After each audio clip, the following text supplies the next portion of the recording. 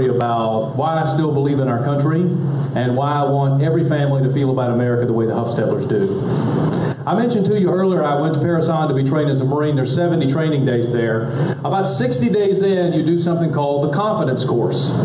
You're supposed to leave the obstacles with confidence. You don't necessarily go in with that. But you're close to being a Marine, so you're pretty pumped, you're excited.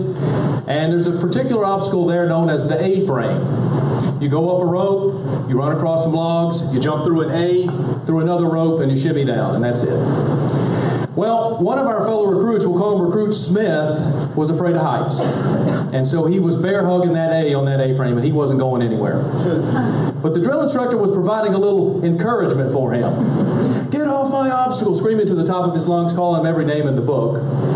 And I was I was about to get up there. I got up the rope, ran over the logs, and I'm thinking, hey, yeah, I can do it. You know, the Smith guy, he's scared to death. The drill instructor said, well, Smith, there's Huffstetler. If Huffstetler can do it, literally anybody can do it.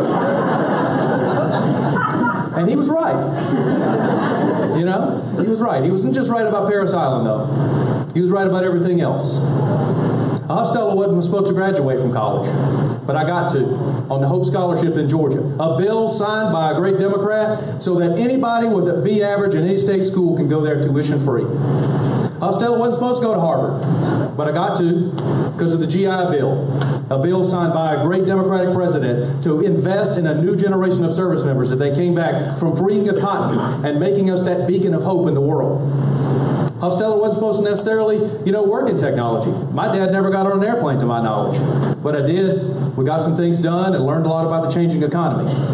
This district is a hard district for a Democrat. But if you'll caucus with me, I'll do everything I possibly can. And I'm hoping that the most important thing I accomplish in my whole professional life is making sure that Tom Garrett is a one term congressman. So